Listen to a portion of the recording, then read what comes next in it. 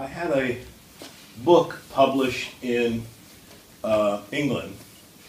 You know, and I get the copy of this book and I look at the, you know, the page behind the title page. It's called Right After the Title Page. The copyright page of my new book from the United Kingdom states, quote, the right of Michael Heller to be identified as the author of this work has been asserted by him. I'm afraid these words are not exactly true.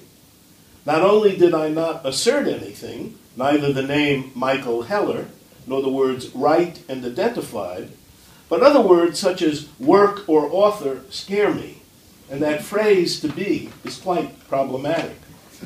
Such language leaves me a bit sick. In fact, I've had to raise my eyes from the page to remember that the room, the ceiling, the sky are the only arenas of longing, and that meanwhile, I'm still looking where to go, what hallway to wander down, still haven't entered into real concourse with the word since I was a babe and shouted, Mama, Mama. I know a name certainly makes one think he exists, but sorry, I'm not going to look in the mirror to see who I am. Such appearances are not worth bookus. My mother used to insist when I grabbed some toy and said mine or Mike's. I didn't write those words above, didn't even proof them on a page. Perhaps I was meant to declaim them to a crowd, wherever a crowd might gather. You want to hear them again?